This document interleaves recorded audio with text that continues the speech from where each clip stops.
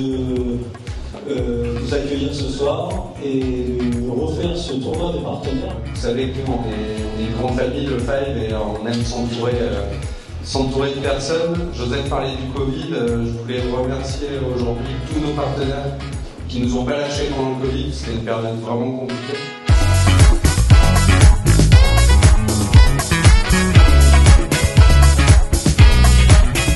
Nous, euh, deux victoires là.